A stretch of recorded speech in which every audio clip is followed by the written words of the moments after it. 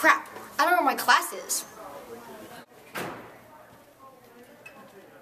Hi, do you know where Miss McNeil's classroom is? And can you get me there?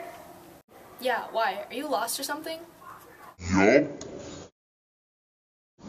Yup. Do I have to? It's too much work. Whatever. Let's go.